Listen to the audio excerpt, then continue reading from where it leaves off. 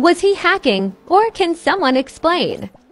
Whoa, he's like speed hacking or something.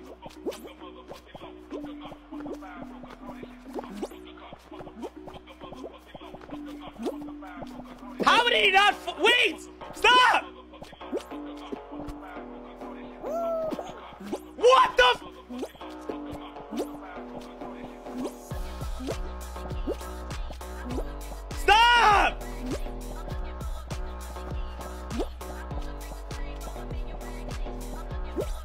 He fell! He fell!